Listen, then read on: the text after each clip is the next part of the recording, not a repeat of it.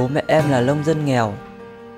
Em quyết định vào học sớm, đi làm giúp bố mẹ trả nợ. Tên em là Nhanh, câu chuyện của em bắt đầu khi em 16.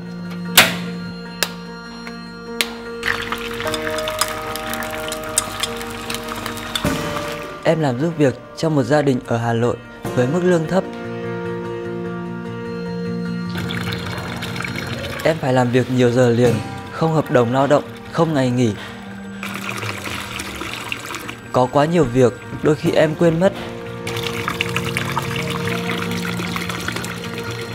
Nhanh ơi!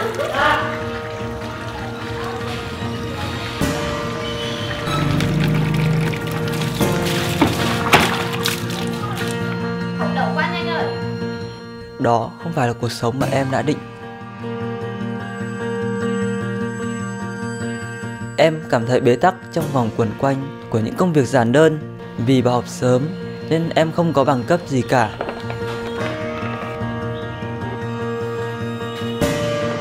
Trong lúc tuyệt vọng, em đã đến gặp bác em nhờ giúp đỡ.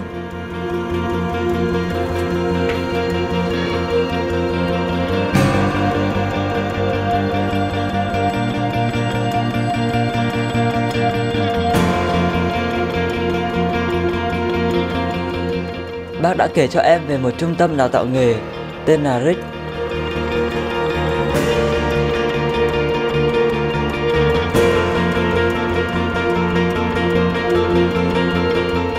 Em được nhận vào học và được dạy nghề nghiệp vụ bàn ba.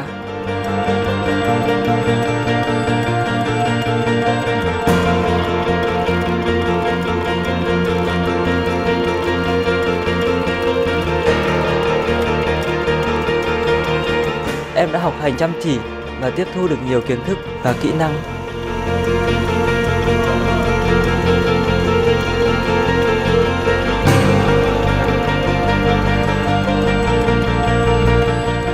Em được phát đồng phục nữa. Sau 3 tháng học, em tốt nghiệp. Giờ đây em đã có đủ kỹ năng để làm trong ngành du lịch và khách sạn. Em gặp bạn mới và có niềm tin vào bản thân.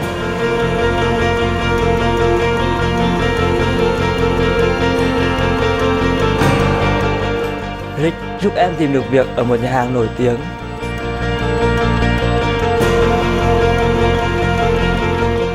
Em có kế hoạch mở một quán ăn ở quê, quán chỉ phục vụ những sản phẩm ở địa phương, được làm bởi chính những người nông dân, giống như bố mẹ em.